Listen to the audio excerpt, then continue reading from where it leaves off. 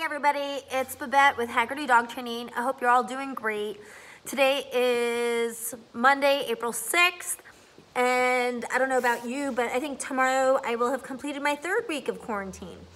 So today's video here on YouTube is going to be a replacement for uh, the usual Facebook Live video that I've been presenting since quarantine began. Uh, this is actually intended to get your dog used to walking on a loose leash. Although we're not specifically going to work on loose leash today, I want to get your dog looking to you for direction. And this is the very first step. Remember, it's a process. We start out with rudimentary skills. I'm creating this video for a friend of a friend who's, uh, I think, a 9, 10, 11 month old puppy is driving him crazy. She's eating up the house. Um, I don't believe he's done any formal obedience training with her. So I promised him I'd get him this video on just the very first step to start with the obedience training. This is my friend Wiz. Wizzy, say hi. Wiz is my quarantine buddy. His dad is stuck in Paris until at least May 12th. So hopefully Wiz will get to see his dad soon. But in the meantime, Wiz is having a good time demonstrating for all my videos.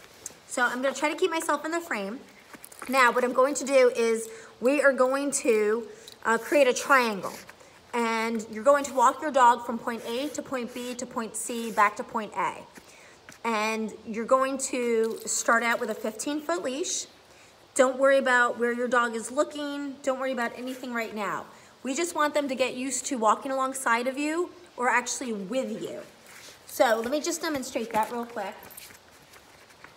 And I'm hoping I'm staying in frame here. Now, ideally, you want point A, B, and C to be about 50 feet apart from one another. I don't have the space to accommodate that, but this is just an example of how it can be done. Now, I've got my 15 foot leash, I'm just dragging the leash. When Wiz isn't paying any attention to me, I'm gonna go quickly as possible to point B. I'm gonna stay here waiting for 30 seconds and it doesn't matter if he's paying attention to me, he's sniffing around, whatever he's doing. I'll count to 30, and as soon as I hit 30, I'm gonna go as quickly as possible to point C. And I'll do that again. If he gets himself hung up, if he's distracted on something, that's okay. Eventually, he's going to learn to start paying attention to me and watching me. I'm not talking to him, I'm not looking at him, I'm not paying any attention to him whatsoever. Now, what I'm gonna do is I count to 30. I'm sure 30 has passed by now, and I'm gonna go back to point. He doesn't come to me, come with me, that's okay. Now, I've let, left some distractions out, which you really don't wanna do the first day to do this. But in subsequent days, like by day three and day four, you can. No So again, you really even should not even be talking to your dog. I count to 30, and then away I go. And again, whether he comes with me or not, he has to. He's not looking at him. I'm not giving him direction. I count to 30. And again.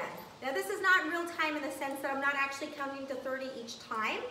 Just for the sake of demonstration, we're going to eliminate that part. So I'm going to do this again. I'm at point B now. And remember, when you create this triangle, you want the legs from A to B, B to C, C to A again, you want them to be equal distant. I count to 30, I start going back the. Now I'm gonna do this six laps. So I'll just finish this one lap, I count to 30, I go as quickly as I can, again, when I go again, I count to 30, and see he's coming with me, he has to. He's going to start learning to pay attention to me.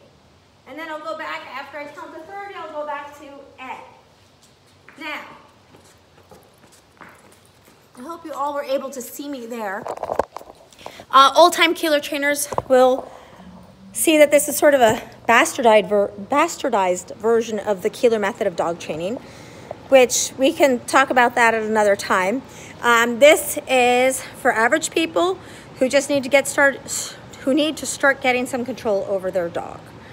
Um, for my friend's friend out in Missouri um, or Montana, I forget where he is, if you start working with your dog in this way, you spend 10, 15 minutes a day doing this, for the next week, you're gonna see a difference in your dog. Now I do have a video and I have a blog. The video's not done yet.